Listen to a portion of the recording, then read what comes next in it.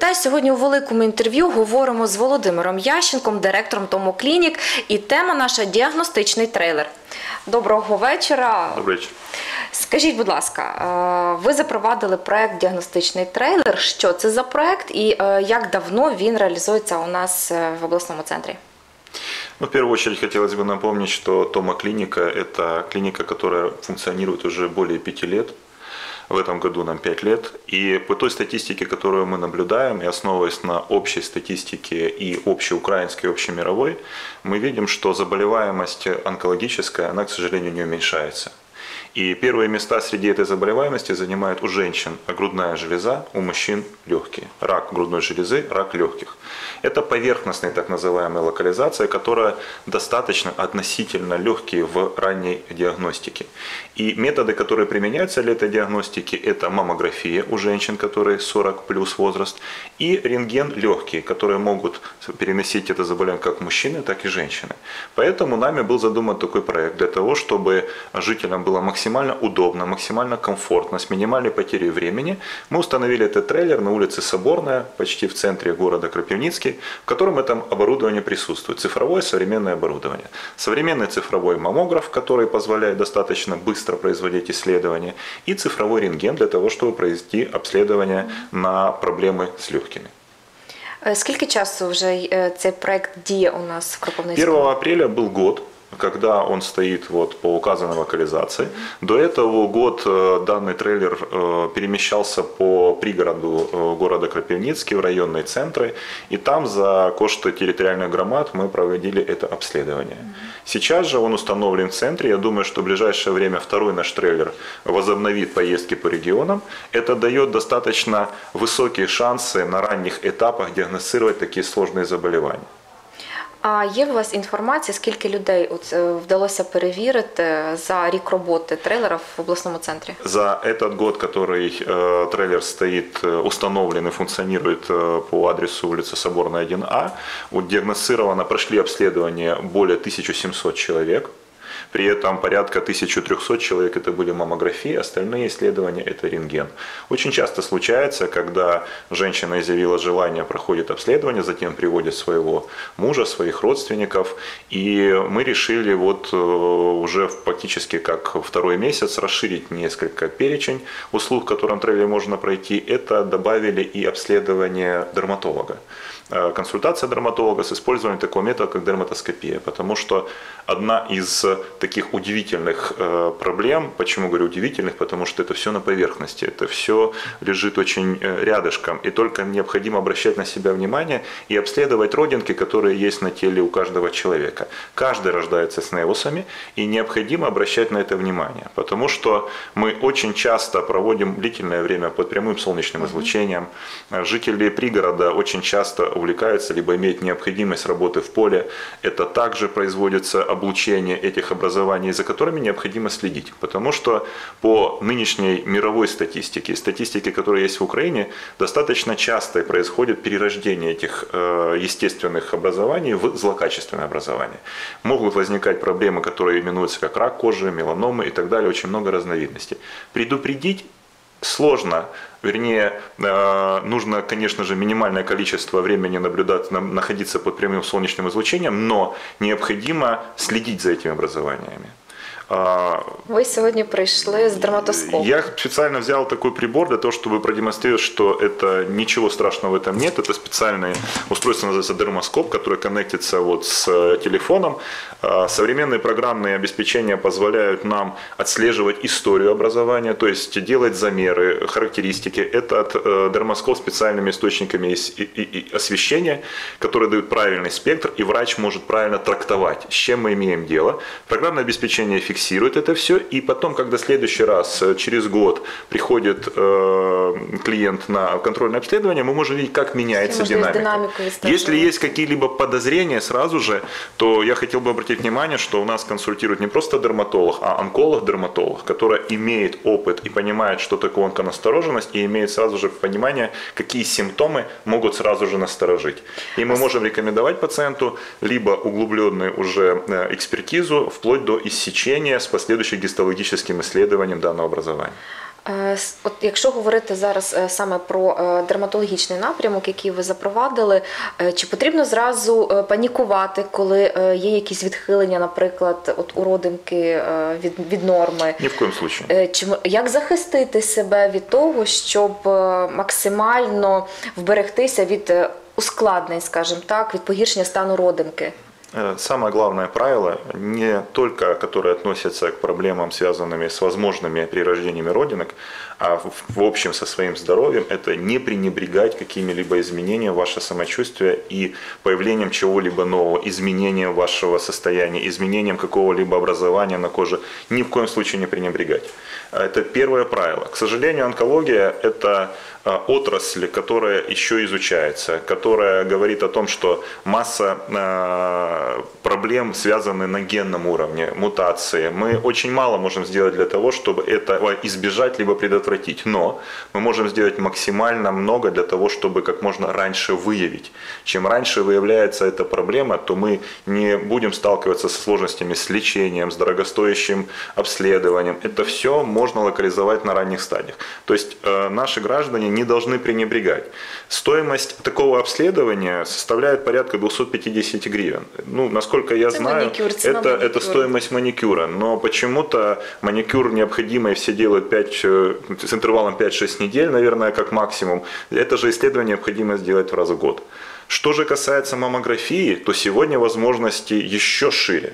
Потому что наша клиника имеет контракт с Национальной службой здоровья Украины, которая финансирует э, проследу- э, такое обследование, как маммография.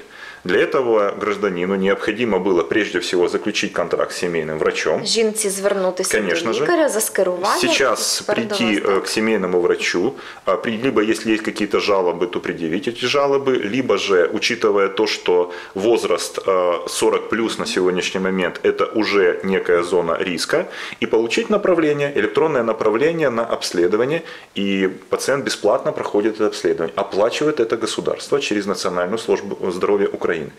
То есть и этот аргумент уже фактически на стороне пациента, когда э, дороговизна, либо другие какие-либо факторы останавливали. Сегодня нужно сконтактировать с своим семейным врачом, это лишний контакт, он не повредит, и получить такое направление. Я вам дякую, Володимире. А скажіть ще, будь ласка, е, до вашого трейлеру можуть звертатися люди е, тільки ті, в кого є якісь проблеми, ну десь інтуїтивно, можливо, якісь само е, погане самопочуття, чи е, просто навіть для профілактики, для особистого контролю? Э, Как я упомянул, есть так называемые понятия зоны риска. Э, Первая зона риска – это возрастные э, Риски. Э, 40 лет, к сожалению, ранее это 45 лет, сейчас уже и 40 лет говорят, что женщина после 40 лет желательно, чтобы раз в год проходилась маммография. До 40 лет, если же есть какие-либо проблемы, жалобы, безусловно, конечно же, необходимо обратиться к гинекологу, маммологу при наличии жалоб, и проводится ультразвуковое обследование грудной железы. После 40 лет раз в год необходимо проводить э, маммографическое исследование. И это должно быть на регулярной основе. Потому что даже если мы в процессе первичного обследования находим либо какое-либо образование, совершенно не означает, что это злокачественное образование. Абсолютно не означает. Но мы можем в динамике следить и мониторить, что происходит далее. Что же касаемо мужчин, то э, тот же самый возраст 45 лет, когда мужчина должен обращать на себя внимание, даже если ничего не беспокоит. Коварство онкологии заключается в том, что рак не болит. И в этом все коварство этого заболевания. Когда начинаются болевые проявления, то это, как правило, мониторинг, э, монитор, э, манифицирует уже более поздние стадии, когда и диагностика, и лечение уже и сложны, и дорогостоящие. Поэтому необходимо не ждать каких-либо плохих ощущений у себя, критических, которые уже невозможно выносить, нужно, помимо регулярных э, общений с своим семейным врачом, вместе с семейным врач- врачом уже сейчас планировать свои ежегодные так называемые скрининги. Что мы подразумеваем под скринингом? Если обратимся опять-таки к статистике, то мы помним, что первое место у женщин грудная железа, затем э, гинекология присутствует и толстый кишечник. У мужчин э, это легкие, это предстательная железа и толстый кишечник.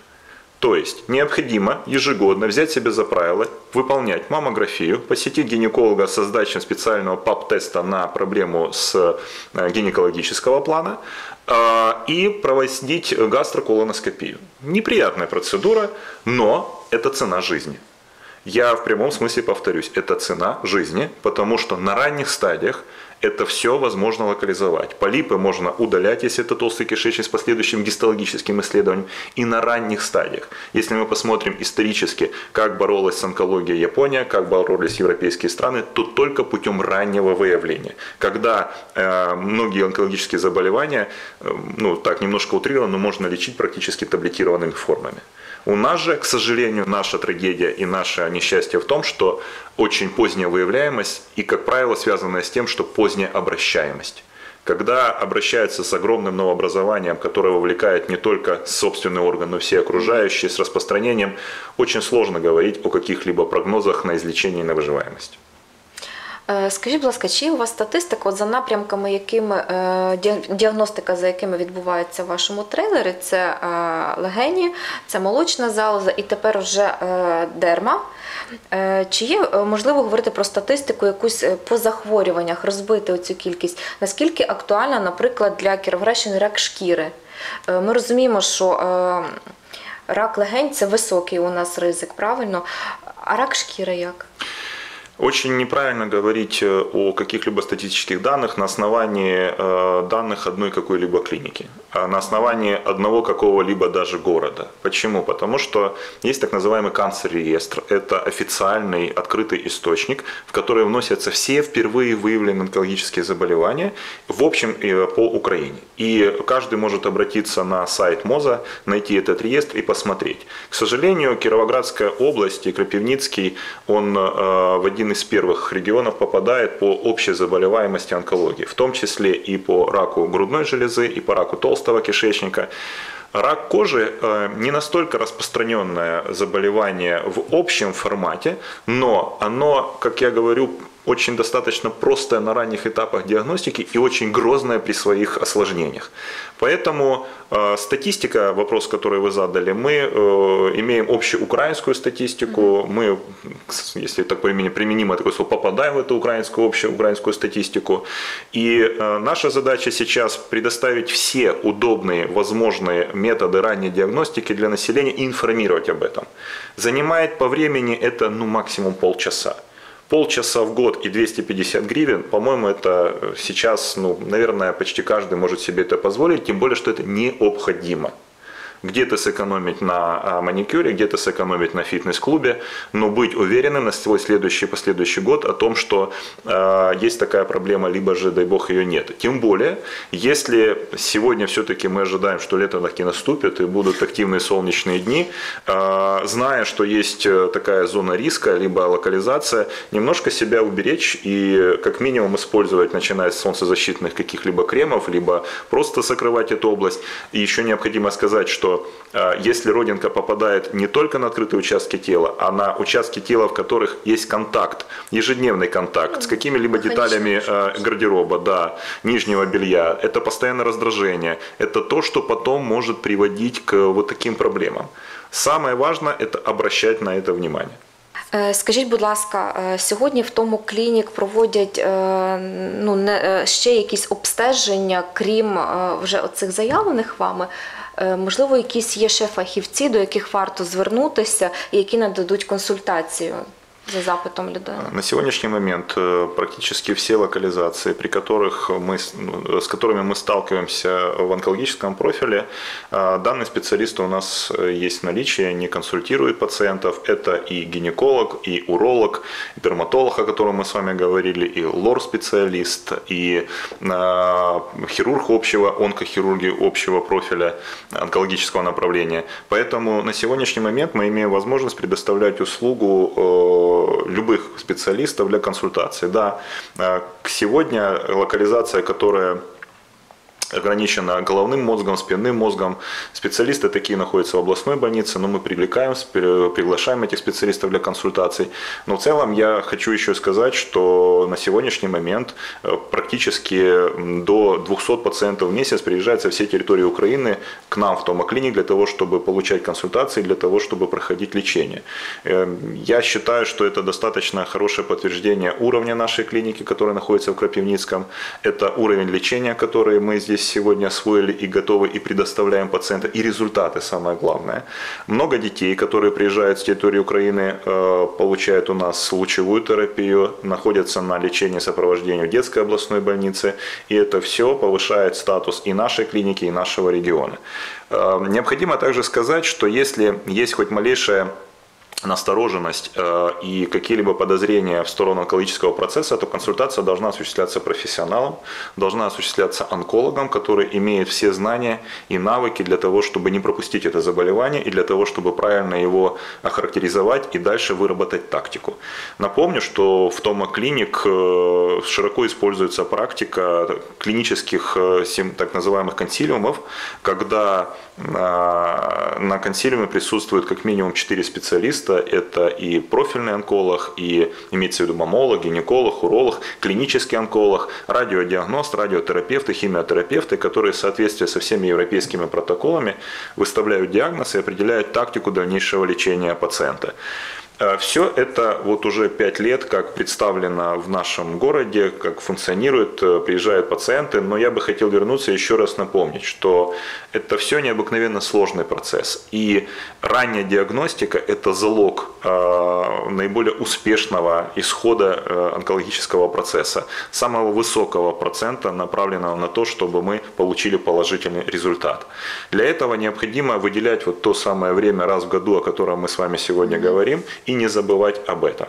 Я бы хотел обратить внимание еще на то, что первичное звено, которое уже реформировалось и уже вот работает больше года, это дает достаточно большие возможности для пациента без дополнительных финансовых затрат также использовать и в своих целях. Обращайтесь к семейному врачу, получайте электронное направление, проходите обследование, и вы уже будете иметь уверенность на следующий год, что вам необходимо планировать и либо в плане до обследования, либо в плане лечения, либо же спокойно планировать свой активный отдых, свое рабочее время какое-либо для того, чтобы не пропустить на ранніх етапах заболівання.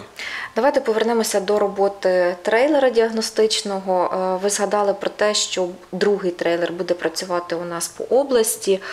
Е, В ньому буде такий самий набір е, діагностичних послуг, чи можливо будуть якісь зміни?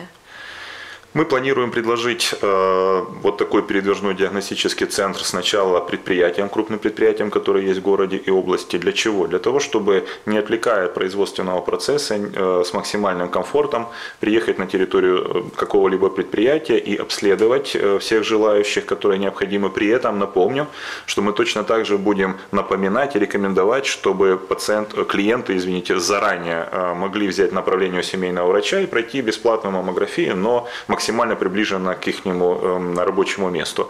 Э, Там будет присутствовать рентгенологический аппарат для проведения рентгена легких. Если же будет возникать необходимость в дополнительных специалистах, как то дерматолог или врач УЗИ, понимая, что есть определенный спрос и есть определенная группа которая, людей, которые желают пройти это обследование, мы все это обеспечиваем. Собственно, так как мы это и делали, когда ранее трейлер выезжал в районы э, Кировоградской области. Э, Есть специальный мобильный ультразвуковой аппарат, э, врач, но опять-таки повторюсь, что э, необходимо, чтобы это было спланировано, для того, чтобы мы понимали, что данный врач проведет э, качественное обследование, и мы получим качественный результат. А чи є вже розуміння, коли стартує е, робота другого цього трейлера? Я думаю, с 1 июля он уже будет на ходу. Э, Мы сейчас заканчиваем его э, э, оформление документальное. И сейчас уже будем предлагать предприятиям м, к рассмотрению данный вот вид диагностики. Конечно же, та история, которую мы сейчас все вместе переживаем, связанная с коронавирусом, очень сильно э, отодвинула планы и пациентов, и э, возможные терапевтические планы, которые каждый рассчитывал пройти. Поэтому сейчас необходимо это будет э, наверстывать, и мы пытаемся максимально комфортно, чтобы это было и в центре города стоящее оборудование, и на предприятии. И опять-таки я приглашаю и предлагаю всем, кто нуждается, записаться на прием к нам в клинику, которая находится на улице Ялтинская, 1, э, для того, чтобы пройти либо плановый, либо вот э, в связи с возникшими какими-либо жалобами консультации узких специалистов. Я вам дякую за розмову. Всім хочу сказати, що дбайте про своє здоров'я, тому що це найголовніше, що є у кожного з нас. До зустрічі спілкувалися сьогодні з Володимиром Ященком у програмі Велике інтерв'ю.